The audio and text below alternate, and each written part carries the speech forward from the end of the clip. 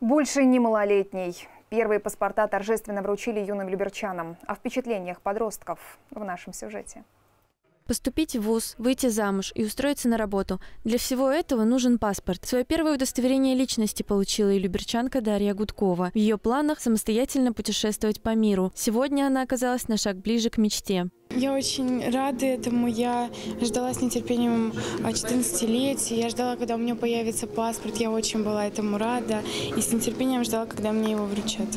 Однако расширился не только список прав. Ребята приняли на себя новые обязанности. Ответственность за некоторые проступки теперь будут нести не родители, а сами подростки обязанности появились. Не нарушать закон. Но это потому, что тебе будет э, уже грозить уголовное дело. Будет обязанность не на твоих родителей будет идти, а именно на тебя.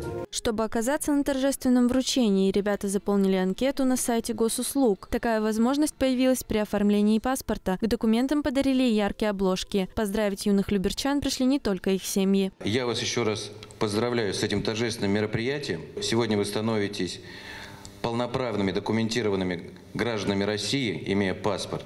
Церемония прошла в картинной галерее. Паспорта получили 10 юных жителей округа. Айтадж Чирагова, Сергей Гвоздев, телеканал ЛРТ.